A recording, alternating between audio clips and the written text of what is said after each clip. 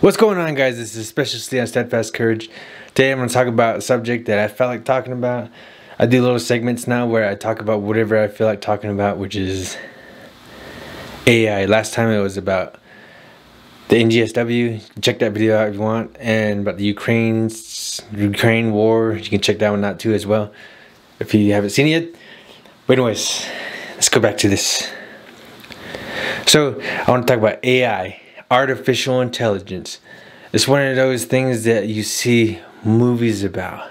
There are movies upon movies about this subject. We got Terminator 1, Terminator 2, Terminator 3, Terminator 4, and 5, and all the, except 5 sucked. I hated 5. But anyways, these movies, they depict AI in a negative light, and that's all you're gonna ever see. Most people are gonna see them as negative. Fuck you, asshole. Depending on who they are. Me, I would see it as negative. Why? Because I sometimes I hate using my cell phone. This damn thing. I hate using this thing. I wish it would just get out of my life and we could go back to the old days where we had big old block phones and we just use that for communications or just communicate through payphones. I remember those days, payphones. Sir, did you ever hear of the concept of other people? Um, me being that for the phone, sir. Oh, you turned uh, your back on me. Oh, he got me mad. I almost like it. So sweet. No one bothered you. No one picked on you. No one sent you messages the dead of night waking you up from your slumber. It was nice, except if you had like a landline. I never had a landline, but I'm sure most people had landlines. Well, I don't guess. But that's just how I see it. I see it as a negative. More technology is not a good thing 90% of the time. Sometimes it is, that 10% of the time. For example, Elon Musk's company, Tesla, their computers can get hacked. Their brakes can get hacked. Things can get hacked. Things can be taken over by other place things. More internet is not answer for things, okay? I'm telling you. More internet makes more problems. I know about this because sometimes I don't even want to mess with the internet. Like, for example, I'm going to rant on this.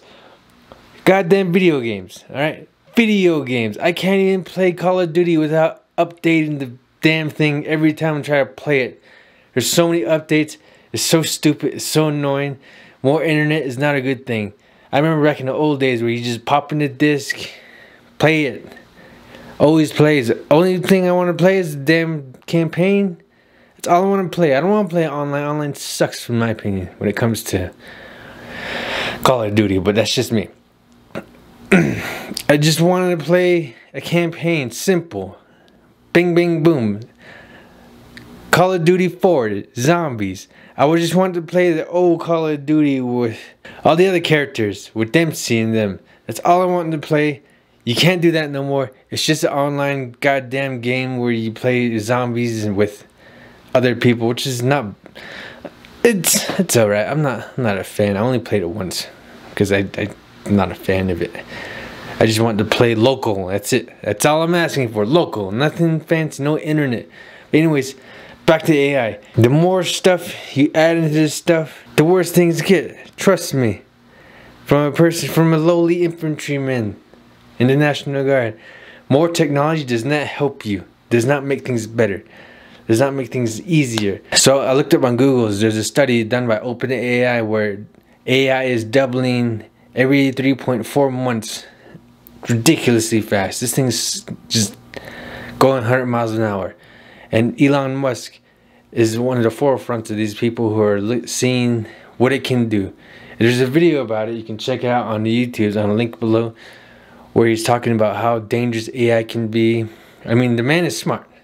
The question here is a lot of experts in AI don't share the same level of concern that you do about the dangers of AI. Fools. What, what Famous speci- last words. What, spe- what specifically do you believe that they don't? Well, the biggest issue I see with so-called AI experts is that they, they think they know more than they do. Um, and they think they're smarter than they actually are. Um, in general, we are all much smarter than we think we are, but much less smart, dumber than we think we are, um, by a lot. So th this is this tends to plague plague smart people. Um, they just can't. They, define themselves by their intelligence, and they they don't like the idea that a machine could be way smarter than them. So they discount the idea, which is fundamentally flawed. That's the wishful thinking uh, situation. Um, I'm really quite close to, I'm very close to the, to the cutting edge in AI, and it scares the hell out of me. Um, it's capable of vastly more than almost anyone knows, and the rate of improvement is exponential. And he talks about how scientists think they're smarter than AI, and people don't know what they're talking about when it comes to AI. They're just completely lost. But something that can double in the, something that can be advanced within 3.4 months every 3.4 months it's gonna see how contradicting humans are humans are very contradicting creatures we're pretty much biological machines that always contradict one another if you go look at politicians always contradicting themselves the bill before us will certainly do some good it will authorize some badly needed funding for better fences and better security along our borders. The fence is now basically complete. Maybe they'll need a moat. Maybe they want alligators in the moat. Secure our borders with technology, personnel, uh, physical barriers if necessary in some places. We will not build a wall. Instead, we will build an economy where everyone who wants a good job can get one. I voted for a fence. I voted like unlike most Democrats, and some of you won't like it. I voted for 700 mile fence. And let me tell you something, folks. People are driving across that border with tons, tons, hear me, tons of everything from byproducts from methamphetamine to cocaine to heroin.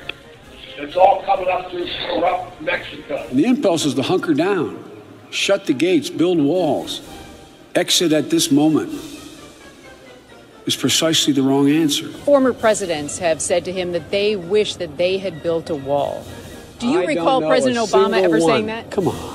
Construction of a 630 mile border fence create a significant barrier to illegal immigration on our southern land border. All along, the president's saying, Well, I'll do DACA and Dreamers in return for the wall.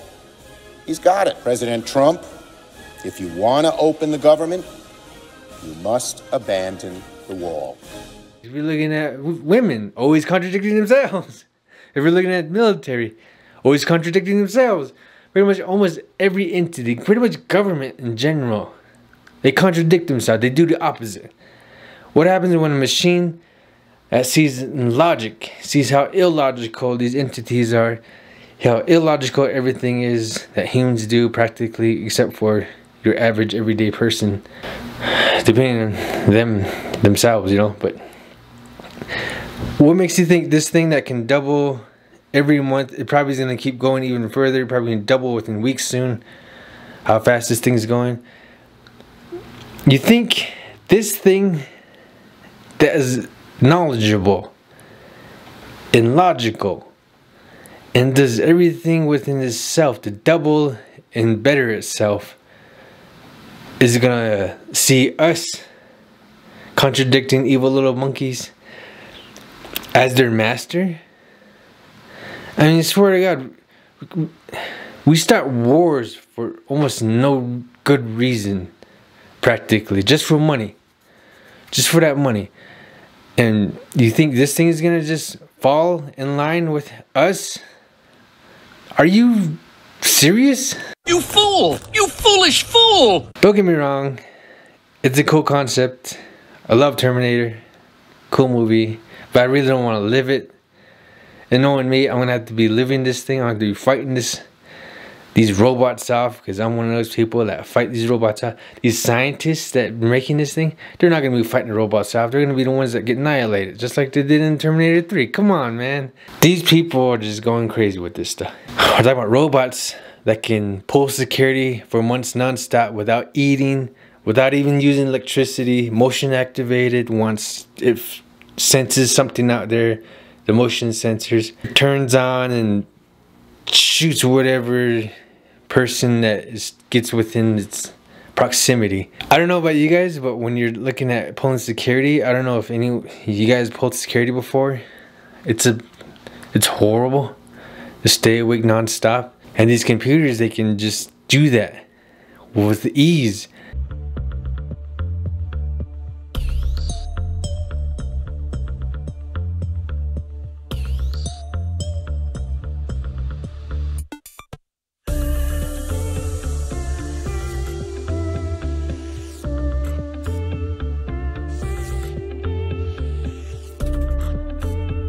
You want to face something like that that doesn't sleep, doesn't drink water, that has solar powered systems, that can live off pretty much just the sun. Come on. Come on. You're not thinking clearly, guys. Something that we don't understand we're dealing with. We're just like Ian Malcolm said on we're going back to the movie references right I'll tell you the problem with the scientific power that you're that you're using here. Uh, it didn't require any discipline to attain it. You know, you read what others had done, and you and you took the next step. You didn't earn the knowledge for yourselves, so you don't take any responsibility for it.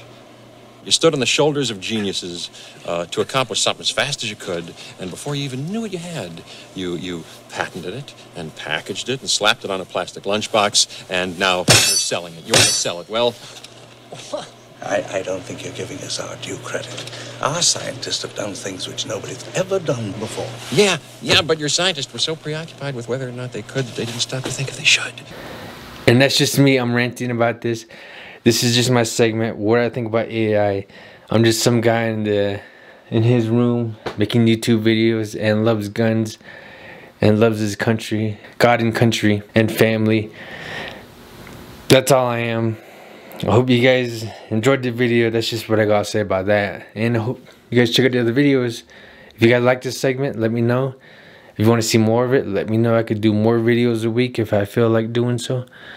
I got a lot of stuff coming up. No worry, I'm working on cool stuff. Anyways, like, comment, subscribe to Steadfast Courage. Make sure you leave a like. Remember, peace through fire, spirituality. Vote Republican. Specialist Lee out.